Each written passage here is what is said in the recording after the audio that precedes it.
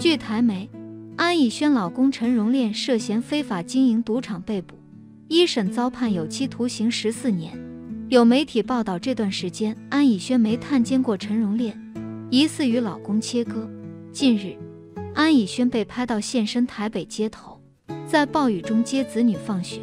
此前，也有网友爆料称，今年二月在泰国偶遇安以轩度假。两年前，媒体爆出洗米华案涉及金额高达六千八百亿，若四项罪名成立，洗米华最高可判三十三年。安以轩的老公陈荣炼曾是洗米华的马仔，虽然后来自立门户，但已被警方证实是洗米华案的重要参与人，并于前年一月被捕。原本安以轩的生活羡煞众人，嫁给了百亿富豪，生下了一儿一女，老公专一有钱。儿女双全，本应该是最圆满幸福的童话生活了。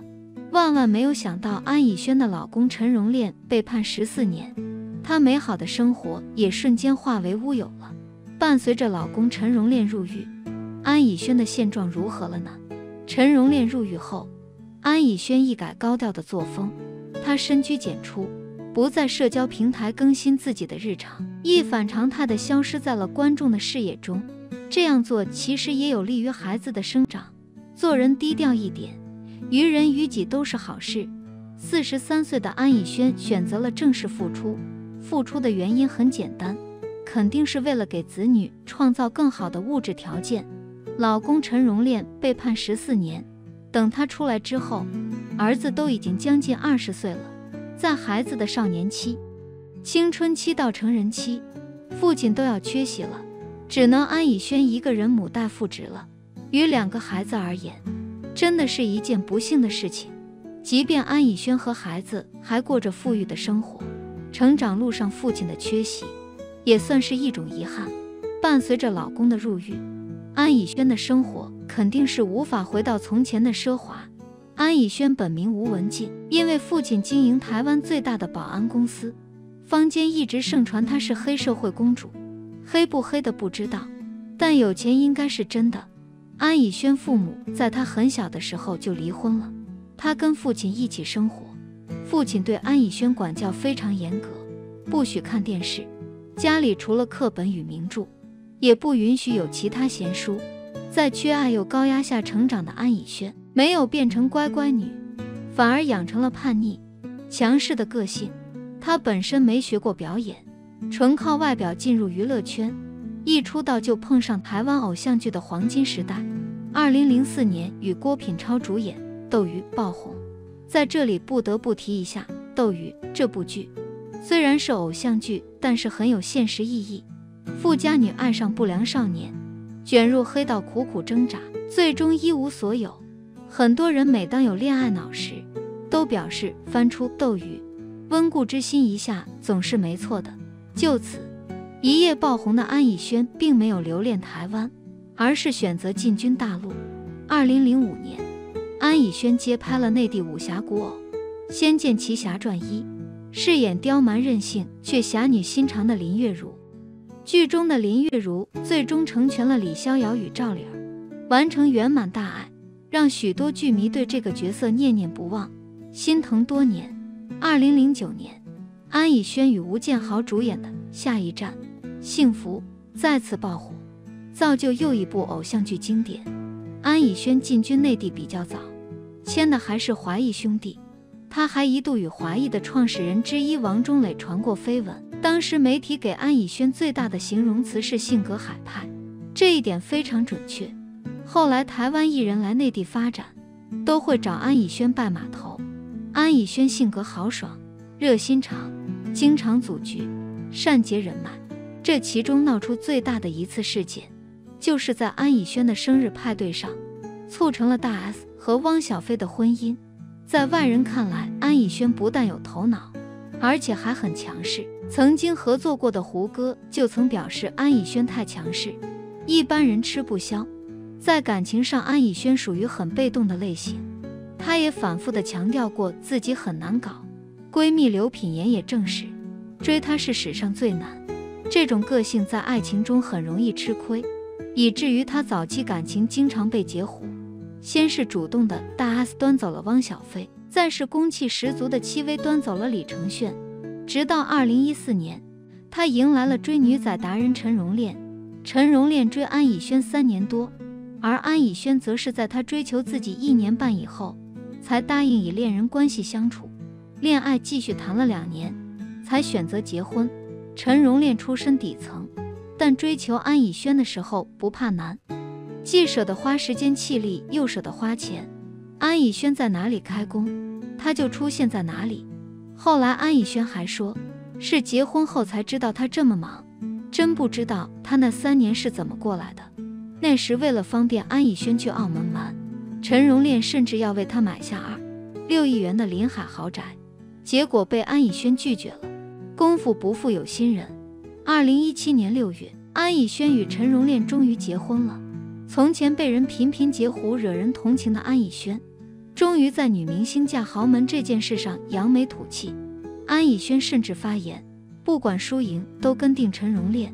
我自由惯了，我在这么大的家族长大，大家都宠着我，惯着我。可是我遇到你之后，我没辙。我不知道我为什么会被你老虎养成了猫。这辈子赢了算你的，输了那一定是我错。我会永远爱你。婚后，安以轩马上变成了二十四孝老婆，退圈留在家陪伴老公。她几点回家，我就得在家，老公就是门禁，出门也不能衣着性感，因为陈荣炼接受不了。她上综艺被台湾综艺教母张小燕一口一个少奶奶，还嘱咐她多生孩子，强调你是第一个嫁到澳门去的，有种你为省争光，我也能与有荣焉。之后两人相继生下一儿一女。生活美满，到处充斥着钱的味道。生完孩子后，陈荣炼家也上演了豪门惯有的套路。他送了安以轩四套相连的别墅，价值六个亿，算是巨额奖赏吧。再然后，安以轩过着和吴佩慈异曲同工的生活，办各种 party 和宴会，日常就是晒名品、晒豪宅，展现优渥的少奶奶生活。谁知人生的际遇变幻莫测。不过短短四年，陈荣炼东窗事发，戴着头套被警方逮捕的画面铺天盖地，豪门阔太好似黄粱一梦。大家一边调侃安以轩有儿有女，有钱有闲，老公失踪，是广大女性的理想生活，一边又讽刺安以轩老公靠捞偏门积累财富，做的不是正当生意，沦为阶下囚，是早晚的事儿。而安以轩面对这飞来横祸。再次陷入了被动的境地，现在要不要离婚都是个问题，不离就得和罪犯老公一起遭人耻笑，离婚那就显得他薄情寡义、自打嘴巴。自从陈荣炼被逮捕后，网传安以轩整日以泪洗面，瘦了很多，全然不是之前娱乐圈豪门太太时的风光模样了。遥想当初，陈荣炼卷入洗米华事件时。有媒体第一时间联系了安以轩，询问事情的实况和他的状态。不过，安以轩当时并没有接电话，直到现在，他也一直没有做出任何回应。安以轩曾经多次秀恩爱的私人社交平台，在今年的一月份就已经停更了，并且将可视范围设置在半年内，消失在大众视野的半年。安以轩在独自消化并且解决现在的现状。而对于网传他即将复出拍戏还债的消息，不少网友表示不置可否。有知情人爆料，安以轩这一阵子正在私下和老公陈荣炼办理离婚的事，但是因为陈荣炼现在处于被捕状态，很多步骤和程序无法进行，所以离婚仪式正在拖办中。而且安以轩作为母亲，也会尽力争取两个孩子的抚养权，这其中的事情非常麻烦。虽然在淡出娱乐圈之前，安以轩是一线女明星，但是和娱乐圈断隔多年，此次复出恐怕困难重重。哪怕真有网友支持安以轩做独立自主的女性，可是，毕竟丈夫的被捕是丑闻，多少是会影响到安以轩的发展的。所以，目前安以轩如果想要成功复出，一定要和陈荣炼撇清关系，至少一定要在离婚以后再复出，不然。也不会真的有哪个娱乐圈幕后大佬敢用安以轩陈荣炼目前在调查中。不仅如此，还有媒体传出他拒绝配合调查的态度，更是火上浇油。恐怕情节只会比席米华严重。不仅仅是安以轩急于撇清关系，陈荣炼的公司目前也在调整他在公司的职位，以免公司的股票受到更严重的影响。当年，安以轩高调嫁给陈荣炼，凭借一颗足足有十五十七克拉的大钻戒，成功进入豪门太太圈。对于这个丈夫，安以轩也是相当赤诚。在结婚之后，就对外宣称退出娱乐圈，专心回家相夫教子去了。当时的安以轩是娱乐圈的女神，她的退出让很多粉丝不舍。不过，彼时看着她满面幸福的模样，大家还是纷纷送上祝福。婚后的安以轩，成为不少人眼中的人生赢家，是大家羡慕的对象。安以轩更是不吝于在社交平台上秀恩爱，多次晒出幸福的照片，各种节日，各种贵重的礼物，价格不菲的钻戒、项链。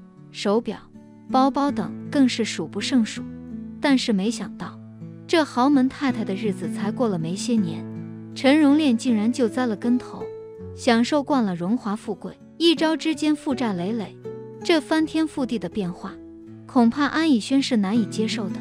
其实娱乐圈这样的例子太多，像刘涛、吴佩慈等等，讲到底，经济能力才是底气，即使打拼辛苦。也要把命运抓在自己手里，不管婚前婚内还是离婚后，自己的事业一点不能耽误。这个瞬息万变的娱乐圈，他每一次的动向都足以引发广泛的讨论与关注。对于安以轩可能的复出之路，他想要重新站稳脚跟，无疑将面临巨大挑战。无论最终选择如何，安以轩的故事都是娱乐圈中一抹不可多得的色彩。我们期待他能够以更加成熟和自信的姿态，继续书写属于自己的传奇，同时，也希望他能够保持初心，为孩子们树立一个坚强、乐观的榜样。娱乐报道至此告一段落，但安以轩的精彩人生，相信还将继续在我们的视线中闪耀。